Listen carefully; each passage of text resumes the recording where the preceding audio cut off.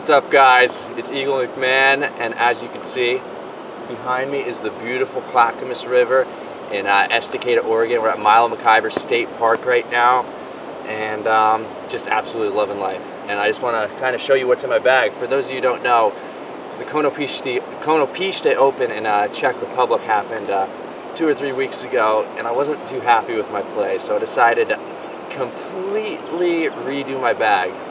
I gave away all my discs to some guy in um, Czech Republic. So I'm working with pretty much 90% new discs. I kept a few old ones in there, but I'm really excited to show you what I got going for me. Starting off, I'm carrying two main putters. I have a P-Line P2 right now. I really like this run. It feels really good in my hand. Uh, I'm using this for most of most every putt right now. And uh, I don't know, I just really like the way it feels. It's going in for me, it's working really good. Another one I have is my signature uh, P-Line P2. I'm also really liking this one right now. It's just uh, kind of a warm-up putter. It's pretty stiff plastic, so if it ever gets pretty hot, I'll probably switch to this instead of using um, the P-Line I'm using now. But uh, putting feeling pretty good, and that stamp's really sick. I'll go into my throwing P2s.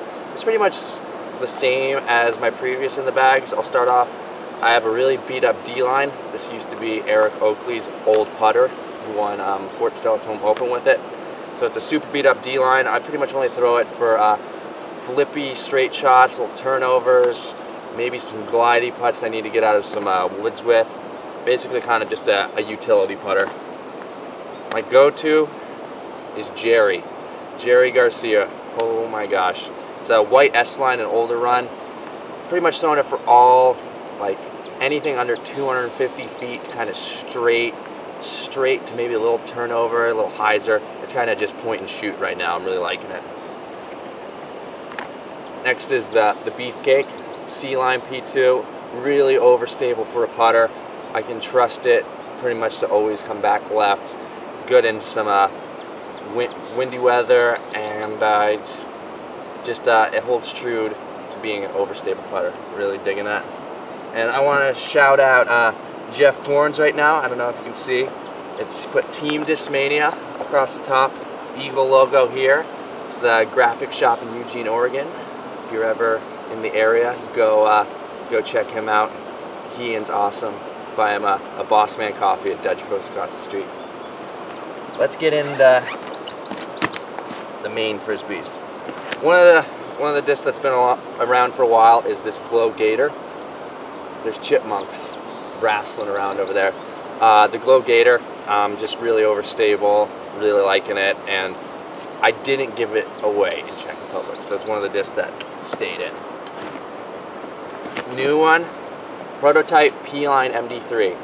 Pretty much for all woodsy shots, kind of little turnovers. I'm really, really controllable. I'm really liking this thing for um, just uh, a little bit slower arm speed. You can pretty much put it wherever you want it to and it'll stay straight.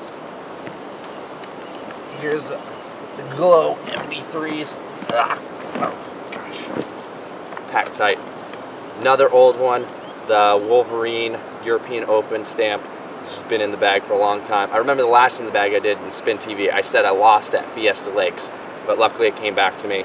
This one's really straight right now, good for turnovers it was uh, it was a hard one to get rid of because it I really hadn't throw thrown it too much, but I'm I'm happy that I kept it. Next one, shout out Das Loomis. I don't know if you know him. He won uh, Masters at Aussie Open.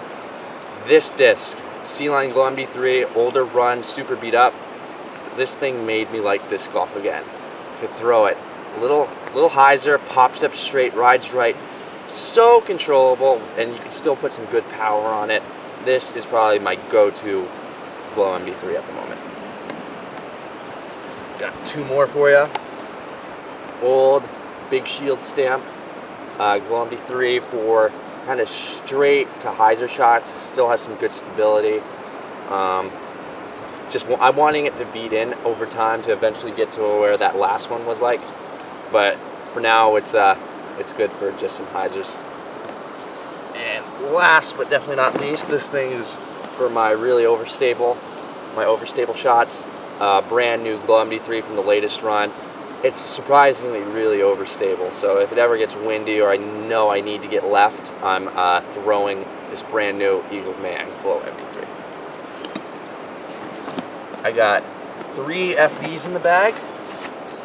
First one I'll tell you about is I've the D-Line FD. If you look, uh, black ink disc stamp, super cool. Check them out. Blair Furstenberg out of uh, Springfield, Missouri. If you want to get your hands on some sweet uh, stamps, check Black Ink Discs out. Simon has a stamp as well, and they also have some really cool other work. But what I'm throwing is a D-Line FD, basically only for uh, rollers or a rare occasion, like a some trick shot out of the woods. But uh, yeah, D-Line FD. I Told you about it before if you've watched any previous in the bags. Got two FDs in the bag, or three FDs, but two premium plastics. Start off with C-Line. This one's pretty much for all straight shots. For some reason, it's surprisingly overstable for an FD. I'm absolutely loving it. I can give it some juice and it'll just ride straight. Maybe hyzer back a little bit. And uh, Flippy, Flippy FD. Super, super flippy in the woods, controllable. Probably throw it for some rollers. Haven't really found too much use for it, but it's definitely something that's good to have in the bag. Another gem in the bag, FD3. I don't know what I could, I couldn't go without this disc. My go-to at the moment is another disc I got from DOS Loomis, Metal Flake. It's a lot flatter than most Metal Flakes. I don't know how that happened, but it's not that overstable, but super controllable, really good for flicks, kind of low hyzer skip shots. Really liking it. It's kind of just like a beat up Firebird. Then I got Piche. For some reason, this color out of the, I think it's the second run FD3s, came out so much more overstable than the rest. I'd, I'd relate it to probably just like any other Firebird, border, borderlining on like a Pfaff Firebird even. Super overstable.